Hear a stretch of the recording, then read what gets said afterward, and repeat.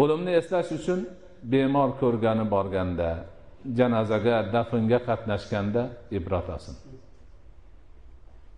Yaqindagina zabardast yerni yursa titratib yurgan tutgan narsasini uzib olgan odam behol bo'lib yotibdi. O'zini oyog'ini o'zi ko'tara olmaydi. O'zini qo'lini o'zi harakatga keltira olmaydi. Og'ziga suv olib borolmayapti. Nima bo'ldi bu? Demak bu odam bunday holda ertaga biz ham shundoq bo'lishimiz mumkin. Ne ne odamlar bor edi yuvib tarab ambarga solib qo'yishibdi namozini o'qishga tayyorgarlik ko'ryapti. Qimirlamay yotibdi uni yelkalariga qo'yib ko'tarib olib borib tuproqqa topshirishyapti bularni hammasi ibrat. Har bir shunday holatni ko'rgan inson o'zini boshida ham shu borligini o'ylashi kerak. Janozaga borganda hiringlab uni buni gapirib kulib televizorda ko'rganini aytib yana nimalarnidir aytish bu insonlikka mutlaqo to'g'ri kelmaydigan narsa. Axir siz bilan bizga o'xshagan bir inson bu dunyoni tark qilib ketyapti. Vafot etdi joni chiqdi qimirlamay qoldi. Bugun u ertaga biz buni o'ylash kerak o'limni eslash undan va'z nasihat olishni uslublaridan yana biri qabrlarni ziyorat qilish zotan payg'ambarimiz alayhissalotu vassalom ham aynan shu hikmatni aytganlar كنت نهيتكم عن زيارة القبور فأما الآن فزوروها فإنها تذكر الموتى deganlar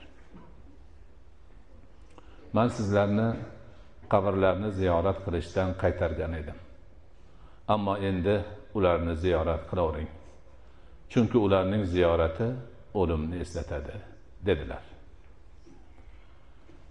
islom yangi kelgan paytda hamma but sanamlarga topilishar edi o'sha but sanamlarni hammasi deyarli qabristonga bog'liq edi bo'lgan odamlarni eslab turamiz deb shaklini qilib qo'yib yurib vaqt o'tishi bilan ularni sanamga butga aylantirishib olgan edi. Shuning uchun rasuli akram alayhissalotu vassalom allohning amri bilan qabristonlarni ziyorat qilishdan man qildilar. O'sha ibodat esga tushmasin yana yangilanib turmasin deb. Tavhid aqidasi kishilarni qalbida joylashib bo'lgandan keyin endi tavhiddan chetga chiqishdan qo'rqish xavf yo'qolganidan keyin yana qabrlarni ziyorat qilishga amr qildilar. Aytyaptilarki ziyorat qilinglar o'limni eslatadi. Qabristonni ziyorat qilishdan ko'zlangan maqsadlardan eng kattasi ziyoratchi qabristonni ziyorat qila turib qabrlarni o'limni eslab o'zi va'z nasihat olishidir. Qolaversa duo fotiha qiroati qur'ondan o'lganlarga naf yetishi ham bor. Lekin haligi ziyoratchini haligi holda o'zidan demak ibrat chiqarishi nihoyatda muhim narsa.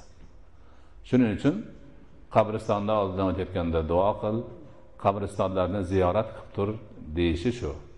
Haftada imkonini topganda qabristonga borib yaqinlarini ziyorat qilib duo qilish albatta juda foydali yaxshi ish hisoblanadi. Sharti shuki tirik odam ibrat olsin.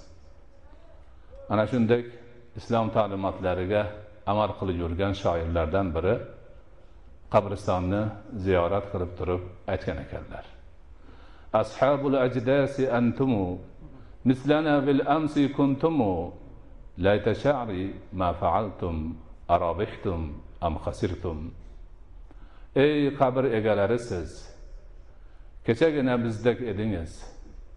Qani endi man bilsaydim yutdingizmi yoki yutqizdingiz haqiqatdan qabristonda hamma yotibdi. Podshoh ham fuqaro ham boy ham gado ham erkak ham ayol ham olim ham johil ham hammasi yerni ostida yotibdi.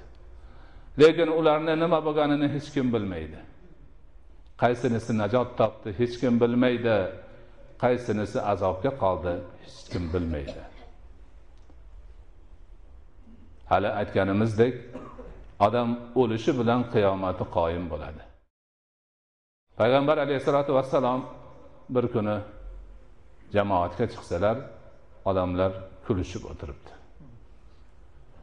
Haligindan bir oz sezdilarda agar man bilgan narsalarni siz bilganingizda kulmas edinglar ey bilib qo'yinglar.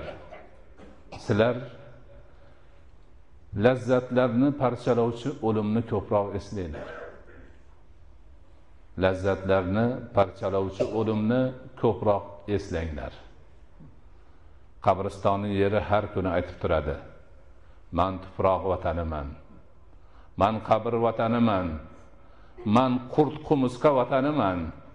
O'zimni quchog'imga kelayotganlarni kutaman deydi. Agar mo'min banda taqvodor banda qabrga qo'yilsa qabr aytadi. Marhabo xush kelding. San maning uchun o'zimni ustimda yurganlardan ko'ra afzalsan. San taqvodorsan san mo'minsan. Ana shunda qabr kengayadi. Mo'min bandaga jannatdagi joyi ko'rsatiladi va u osoyishtalik bilan qiyomat bo'lishini kutadi dedilar.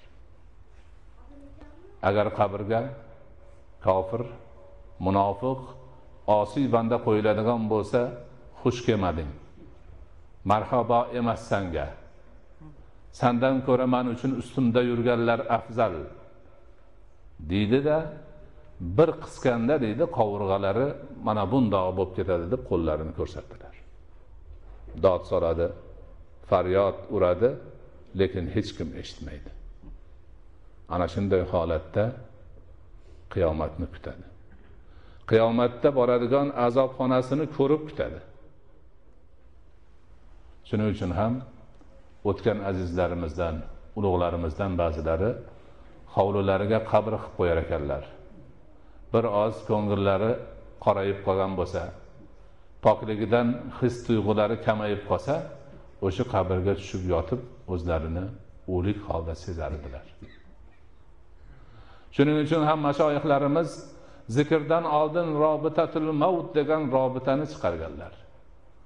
Allohni zikr qilishga tayyorlanayotganda murid ko'zini yumib o'zini o'lgan hisoblaydi. Butun dunyodan ayrilgan hisoblaydi. O'lib harakatsiz ollohni huzurida turgandek bo'lganda ana shu maqomni his qilgandan so'nggina zikrini boshlaydi. O'limni eslash mana shu tariqa siz bilan biz mo'min musulmonlar uchun o'ta foydali bir ish bo'ladi. O'limni eslash o'limni bo'yniga olish o'limdan keyingi narsalarga tan berish bu dunyoda ibodat bilan halollik poklik bilan amali solih bilan barcha insoniyatga hayvonotga nabototga jamodatga yaxshilik qilish bilan o'tishga chorlaydi.